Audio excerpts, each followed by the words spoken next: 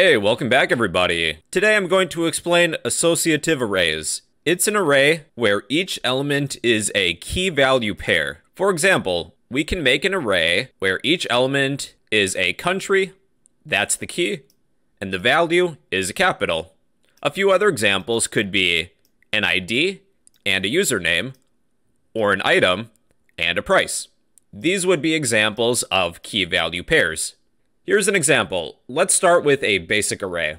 I will create an array of capitals. Capitals equals, we will use the array function. We'll begin with keys. Each key needs to be unique. I'll think of four examples. We have the USA,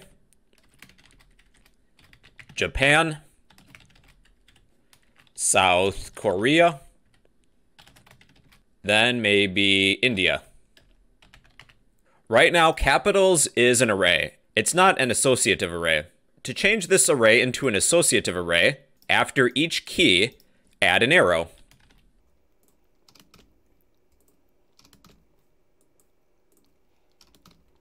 For readability, I'm going to place each element on a new line. It's not necessary, but it's a lot easier for me to read. Following the arrow, we will give each key a value. The value in this example will be each country's respective capital. The capital of the USA is Washington, D.C. Japan, that's Kyoto. South Korea, that is Seoul. India, New Delhi. We now have an associative array. It's made of key value pairs. If you need one of the values at a given key, we would then access our associative array, capitals, at index, then place your key within the set of square brackets. Let's find the capital of the USA. Then let's echo whatever the result is. And the result is Washington, D.C. If I change the key to Japan, we will be given the value at this key of Japan. To print all of the key value pairs of our associative array, we'll use a for each loop. Within the parentheses, we're going to write something a little different. First, we need our associative array. Capitals as key, arrow, value. This for each loop will loop through all of the key value pairs. Let's print them. Echo. I'll add a placeholder. Let's print each key and each value. Then I'll add a break line. Here are the keys, and here are the values. I'll add an equal sign before key and value, just so it's more readable. That's how to use a for each loop to loop through all the key value pairs in this associative array. To change one of the values, we need to access this array by a key. I'll change the capital of the USA to be maybe Las Vegas. Let's take our associative array. Then I would like to access, using square brackets, USA set this equal to some new value. The new value will be Las Vegas. When I run this program, the value at this key is now Las Vegas. That's how to update a key value pair. First, look up the key, then you can set the value equal to some new value. To add a new key value pair, we will access our associative array, add a set of square brackets, then place a new key within a set of quotes within the square brackets. Let's add China. China will equal Beijing. There's our new key value pair. The key is China. The value is Beijing. The pop function will remove the last pair in this array. Array underscore pop. We will pop our associative array, capitals. Our pairing of India and New Delhi is gone. That's how to remove the last pair in this array. The shift function will remove the first element. Array, shift, pass in your array. The USA and Washington, D.C. pair is now gone. It's shifted out of the array. If you ever need all of the keys in this associative array, there's an array keys function. Array keys, pass in your array of capitals. This will return a new array. I will assign that to a new array. Let's name it keys. Then I'm going to display all of the keys within our array using the for each loop. So let's change this a little bit. We have an array of keys, and I would like to display as key. For every key in keys, let's echo each key. Then I'll add a line break. Here are all of the keys within our associative array. If you need the values instead, there's a values function. array values. I'll create a new array named values. For every value in values, print each value. And here are the capitals, all of the values within our associative array.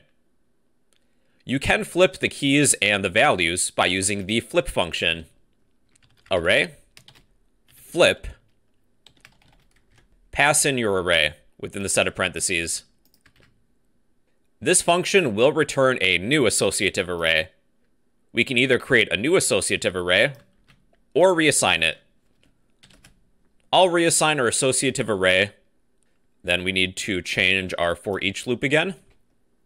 So we have capitals as key arrow value. Then we will display every key and every value. Key equals value. Our values are now switched with our keys. The capitals are now the keys, the countries are the values. That is the array flip function. If you need to reverse the order of your pairs, you can use the reverse function. Array underscore reverse, pass in your array, this will return a new array. I will reassign it. The order in which we originally placed these key value pairs is now reversed. India is now at the beginning, the USA is now at the end. Then if you need the amount of key value pairs, you can use the count function. Echo, count, capitals. Let me get rid of this for each loop to demonstrate. We have four pairs within our associative array. One, two, three, four. All right, everybody, so it's time for some practice. I will delete everything but our associative array. We'll create an HTML document, so preceding our PHP script, using VS Code, I will type an exclamation point, then hit tab to create some sample HTML. We'll create a text box. A user is going to type in a country, hit submit, then we will return the value for that associated country, that capital. We'll need a form. Form, be sure to close it right away.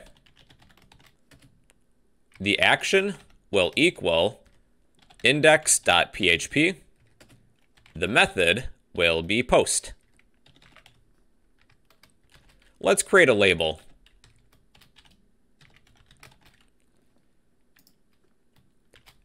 Enter a country. Then we'll need a text box input type equals text. The name will be country. Then a button. Input type equals submit. Here we are. Within our PHP script, we have our associative array. We'll need to access whatever's within this text box. I'll store that within a new variable named capital, singular. Capital equals dollar sign underscore post. The value we are trying to access is the name country. Let's see what we have so far. Just for testing, I'm going to echo our capital. If I type in USA, then click submit, this should return USA. To get the value associated with this key, USA, I will take our associative array, capitals, at index of a country. So in this example, it's USA, right? I can copy this post variable, delete this line. Within the set of quotes, I will place the post variable, then get rid of the quotes. I will reassign capital to equal whatever value we receive. So I will type in this time Japan, then this returns Kyoto. We could even put this variable within a sentence. The capital is our capital variable. If we type India, then click submit, the capital is New Delhi. Alright everybody, so that's an associative array. It's an array made of key value pairs. You could create an associative array of countries and capitals, ID numbers and usernames, or items and a price. Those are a few examples. And well everybody, those are associative arrays in PHP.